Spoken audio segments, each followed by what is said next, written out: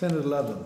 I'll just be very brief. Um, if we've got the right people in the room, that is. The um, correspondence with Mr Hunt prior to the election, the Coalition is proposing, paraphrasing, no changes to current legislation in regards to uranium mining. I think Senator Waters might have traversed some of these areas about bilaterals and handing back powers to the states. It was a very clear commitment of the government um, that uranium mining and nuclear power uh, or related issues under the nuclear trigger would stay firmly in the hands of the Commonwealth. What on earth is happening in Queensland, for example, where it appears that the government's now fast tracking um, the devolution of those powers for assessment and approval back to the state government in Queensland? So Dr Bacon can take you through the status of negotiations of the approvals bilaterals with Queensland and the scope with the Right. other jurisdictions, Senator. Uh, Senator, in relation to the, the EPBC Act and the provisions relating to accreditation of state and territory processes under an approvals bilateral agreement, there have been no legislative changes uh, in relation to uh, matters, uh, uh, the, the nuclear um, matter of national environmental significance. I'm well aware So- of that. Will there be? Uh, Not that I'm aware of, Senator. Uh, The, the legislation provides for the ability to accredit state and territory uh, assessment and approval processes uh, in relation to the, the nuclear um, matter of, of national environmental significance. So that can happen without any changes to legislation, but it was stated very clearly prior to the election that that wouldn't be occurring. Is it occurring at least in the instance of Queensland? Uh, Senator, the, the scope uh, in relation to the draft approvals bilateral agreement with Queensland that's currently out for public comment uh, indicates that uh, the, the scope of, of that agreement includes all relevant matters of national environmental significance. So Queenslanders were lied to before the election.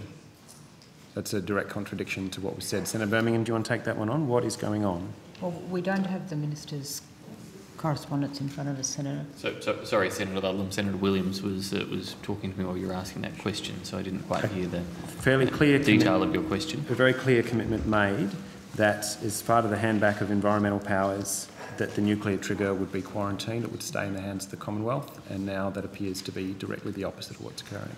Mm. Um, Senator Ludlam, you're you're not. I think, as you said at the outset, you you said you were paraphrasing it. but It doesn't sound like you're even paraphrasing. You're uh, you're making a statement without providing the uh, the information there. Um, Well, I won't what, paraphrase Uh, what, I'll- what the I'll the quote, I'll quote directly. The Coalition is proposing no changes to current legislation regarding to uranium mining and nuclear power plants. Under the proposed streamlining of approval processes under EPBC, our intention is for uranium mining to be one area where the federal government would retain control and would not implement a bilateral approval process. That's not paraphrasing, that's a direct quote. Okay, thank you. Um, well, look, we uh, uh, we are not proposing changes to uh, to legislation. Uh, that's that's correct. Um, there is through the process consideration uh, to um, giving the one-stop shop the broadest range of approvals possible. That's not what was said by Mr And, uh, and, and that could include such actions um, if and only if the states and territories demonstrate their processes meet um, uh, the requirements of, uh, of national law. Um, uh, it's important, and maybe this is where qualification was lost in detail or something, it's important to appreciate that uh, uh, the Commonwealth also intends to retain responsibility uh, for approvals relating to um, uh, Commonwealth land, uh, marine areas, uh, Commonwealth actions, and uh, and the like. So, um, but um, the drafts of the approvals bilats are, of course, um, out and there to be assessed.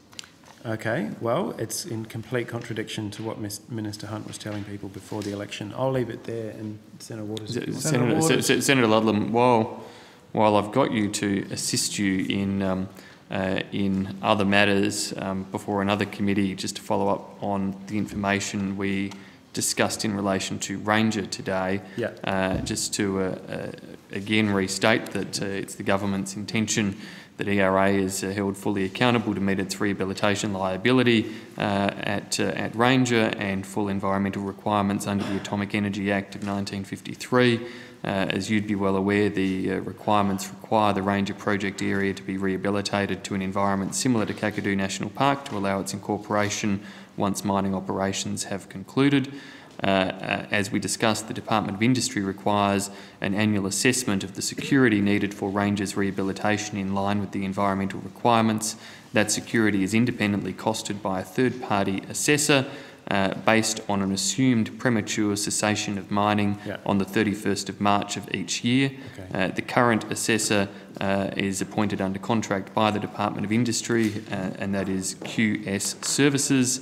Um, obviously, uh, you can ask questions to the Department of Industry about the work of that assessor uh, and the processes that they go through, uh, but that is a process of, uh, of assessment and verification that has continued. Okay. And of course, as you'd be aware, ERA is currently undertaking various stages of progressive rehabilitation at the site, All right, particularly we're- on pits one and three. We're very short of time, so, but thank you very much for providing that. That's